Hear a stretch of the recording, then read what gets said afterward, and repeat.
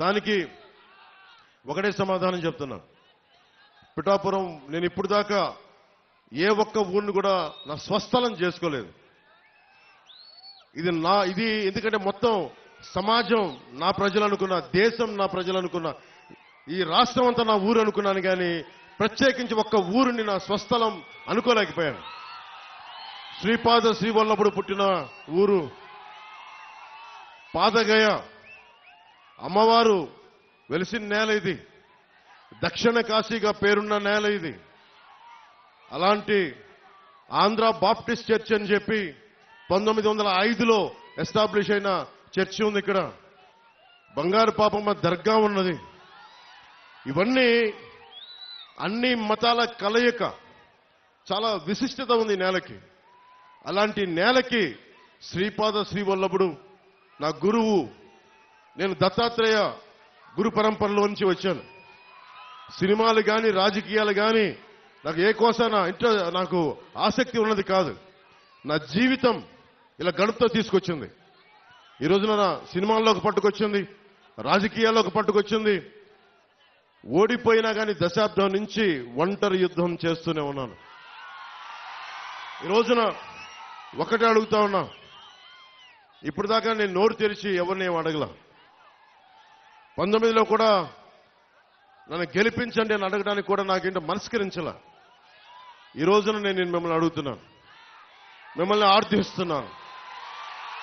రెండు చేతులు జోడించి అడుగుతున్నాను. నా పిఠాపురం ప్రజలను అడుగుతున్నాను. ఉప్పాడ కొత్తపల్లి మండలం ప్రజలను అడుగుతున్నాను. ప్రతి మ- మండల ప్రజల్ని ప్రతి ఒక్కరిని యాభై నాలుగు గ్రామాల ప్రజల్ని పేరు పేరును అడుగుతున్నాను. కులాలకి మతాలకి అతీతంగా అందరినీ అడుగుతున్నాను. నేను మీకోసం నిలబడతాను. మీ ఆశీర్వాదాలు కావాలి. నన్ను గెలిపించండి. ఏ ఒక్కరు కూడా ప్రతి ఒక్కరు కూడా ఇంత ఇంత కష్టపడ్డారు. వర్మ గారి అనుభవం మనకి తంగెళ్ళ ఉదయ్ కుమార్ గారి ఉదయ్ శ్రీనివాస్ గారి ఉత్సాహం వీటన్నిటినీ ముందుకు తీసుకెళ్ళి అలాగే మన కృష్ణరాజు గారి ఆలోచన విధానం వీటన్నింటిని ముందుకు తీసుకెళ్ళి ముఖ్యంగా ఇంతమంది ఆడపడుచులు ఉన్నారు. దారి పొడవుతా. ముఖ్యంగా హాస్పిటల్ సరిగ్గా లేదు ప్రసూతి కేంద్రం సరిగ్గా లేదు. అది నేను ముందుగా రాగానే నేను మేము చేయగలిగేది ముందు ఆసుపత్రుల్ని బాగు చేస్తాం. అంటే ఎక్కువసారి మల్టీ స్పెషాలిటీ హాస్పిటల్ తీసుకొచ్చేలాగా నేను అవసరమైతే నా స్నేహితులు నా సన్నిహితులు చాలా మంది డాక్టర్లు ఉన్నారు. వాళ్ళ చేత హాస్పిటల్ ఇక్కడే పెట్టిస్తాం. ప్రభుత్వం పరంగా లేట్ అయినా కానీ ప్రత్యేకించి ఇక్కడ పెట్టిస్తాం. సో ఇవన్నీ భవిష్యత్తులో ఇంకొంచెం ఇంకొంచెం సమయంలో మాట్లాడుకుందాం కొంచెం డీటెయిల్గా ప్రత్యేకించి పీఠాపురం నియోజకవర్గానికి నేను ఏం చేయదలుచుకున్నాను? దాదాపు పన్నెండు నుంచి పద్నాలుగు పాయింట్ల ఫార్ములా ఉంది. మన పట్టు రైతుల కోసం ఏం చేయాలి? మన రైతాంగం కోసం ఏం చేయాలి? మన ఉద్యాన రైతుల కోసం మన ఉల్లి రైతుల కోసం ఏం చేయాలి? మిర్చి రైతుల కోసం ఏం చేయాలి? అలాగే మనకి పశువుల సంత కోసం ఈరోజు శిస్తు వసూలు చేస్తున్నారు కానీ ఆ శిస్తు దానికి ఏం చేయాలి? వీటన్నిటి మీద అలాగే మన రైల్వే క్రాసింగ్స్ వీటికి కూడా ఓవర్ బ్రిడ్జ్ కావాలి? ఎలా చేయాలి? వీటి మీద కూడా నాకు ఆలోచన ఉంది. నాకు వీటన్నిటి గురించి మాట్లాడబోయే ముందు మీ దృష్టికి ఒకటే తీసుకొస్తున్నా. మీకు వైసీపీ ప్రభుత్వం కావాలా? వద్దా అనేది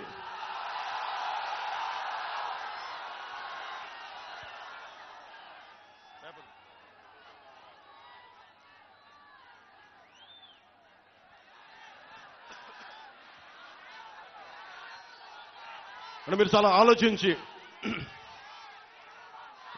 అంటే ఎందుకు అడుగుతున్నానంటే నాకు నేను నష్టపోయాను.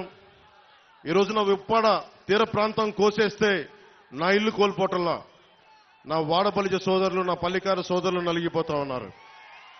నా వాడపలిజ ఆడపడుచులు నలిగిపోతా ఉన్నారు. అక్క చెల్లెలు నలిగిపోతా ఉన్నారు. నాకేమవదు ఈ రోజున పట్టు రైతులు నలిగిపోతా ఉన్నారు. వెళ్ళి చిత్తూరులో అమ్ముకోవాల్సి వస్తుంది. అలాగే మిర్చి రైతులకి వాళ్ళకి మార్కెట్ కావద్దండి శుభ్రపరచుకోవడానికి. అలాగే ఏ సమస్యకైనా సరే ఇంతమంది యువత ఉన్నారు మీకు ఎన్ని పక్కనే కొత్తపల్లి ఎస్సీజెడ్ ఉంది. ఎన్ని పరిశ్రమలు వచ్చినాయి. ఎంత ఉపాధి అవకాశం వచ్చింది. ఒకసారి మీరు ఆలోచించండి.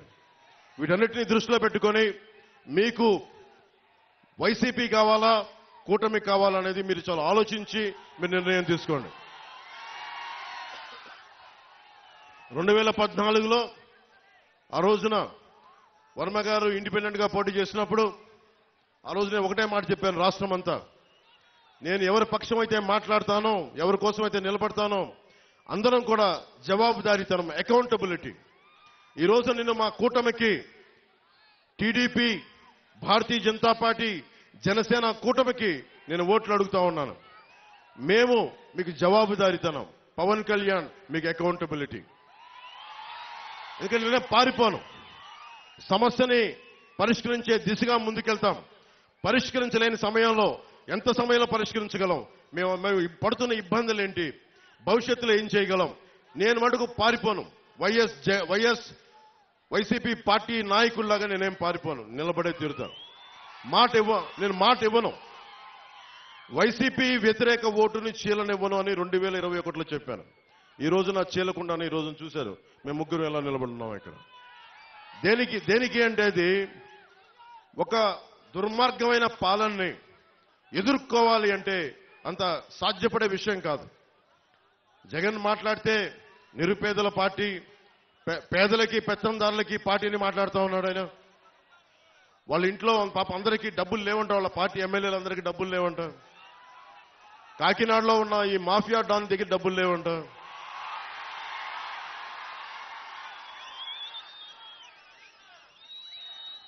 నన్ను ఓడించడానికి చిత్తూరు జిల్లా నుంచి పాపం మిథున్ రెడ్డి గారు వచ్చారు.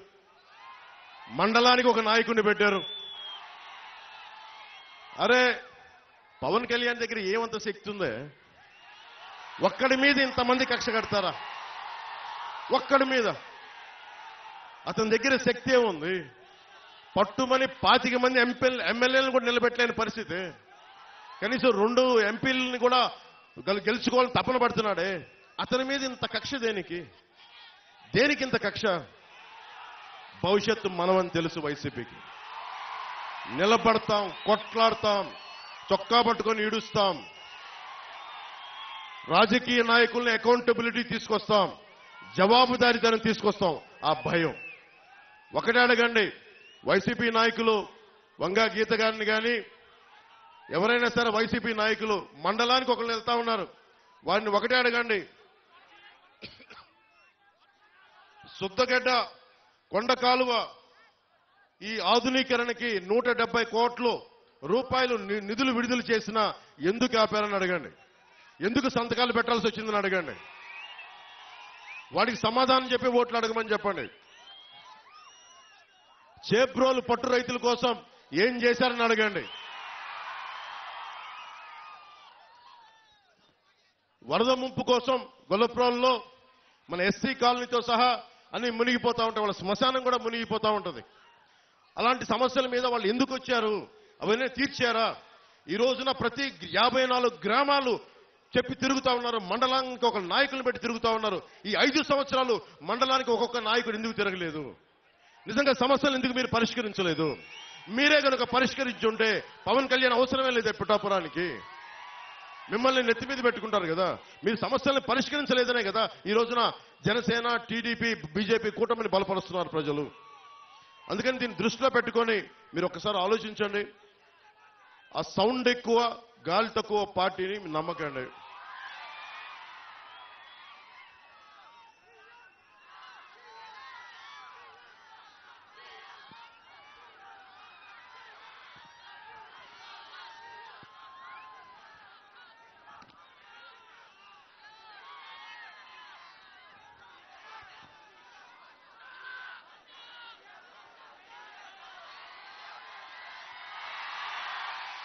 ఓ చిట్టా పట్టుకొచ్చాను. వైసీపీ చేసిన దుర్మార్గాలు. మీలో మద్యపానాన్ని నిషేధిద్దామా వదిలేద్దామా? మీరు చెప్పండి. వద్దా? మద్యపానం నిషేధం కావాలా వద్దా? వద్దు. మద్యపానం నిషేధించదు. అదే కదా ఓకే. మద్యపానం అనేది ఎవరు ఎంకరేజ్ చేసేది కాదు. ఆరోగ్యాలు పాడైపోయేది. ఎక్కువ తాగితే లివర్ సిరోసిస్ ప్యాంక్రియాటిక్ సమస్యలన్నీ వస్తాయి. అది ఐదు సంవత్సరాలు దశాబ్దం పిచ్చి పిచ్చిగా తాగితే వచ్చే లివర్ సిరోసిస్. నా- మన వైసీపీ బ్రాండ్స్ జగన్ బ్రాండ్స్ కూడా ఉన్నాయంట. పొద్దున్నే పేపర్లో కూడా చూసా. పవర్ స్టార్ బ్రాండ్ కూడా ఉందంట. సరే వాళ్ళు ఏ ఉద్దేశంలో పెట్టారో తెలియదు కానీ రకరకాల బ్రాండ్లు పెట్టారు. ఆ బ్రాండ్లు తాగితే ఇప్పుడు నిజంగా మీరు ఒకసారి ఆలోచించండి. వైసీపీ నాయకుడు మద్యాన్ని నిషేధిస్తానని చెప్పి అధికారంలోకి వచ్చిన వ్యక్తి. ఈ రోజున అతను దాదాపు ప్రభుత్వాలకు తెలియజేయకుండా స్టేట్ ఎక్స్చెక్కర్కి తెలియకుండా నలభై వేల కోట్ల రూపాయలు ఆదాయాన్ని వెనకేసుకొచ్చాడు. అతను చెప్తున్నాడు అతను పేదవాడు మనం పెత్తందారులు అంట పెత్తందారంటే ఏంటి? దౌర్జన్యం చేసేవాడు. ఎవడు దౌర్జన్యం చేస్తున్నాడు? వైజాగ్ హోటల్ ఎవడు దౌర్జన్యం చేశాడు? నువ్వు చేసావా? నేనేం చేసావా? వై మనకి ఆంధ్ర తెలంగాణ బార్డర్లో దౌర్జన్యం చేసింది మీరా మేమా? డాక్టర్ సుధాకర్ని చంపింది దళితుడైన డాక్టర్ సుధాకర్ని చంపింది మాస్క్ లేవని పెత్తందారి పోకడా చూపించింది మీరా మేవా అనంతబాబు అనే ఒక ఎమ్మెల్సీ డ్రైవర్ని చంపేసి దళితుడిని ఒక దళిత డ్రైవర్ని చంపేసి డోర్ డెలివరీ చేస్తే అతని ఘన స్వాగతం పలుకుతున్నారు. పెత్తందారి పోకడా మీ వైసీపీదా మాజా. ఏం మాట్లాడుతున్నారు? ఒకసారి ఆలోచించండి అని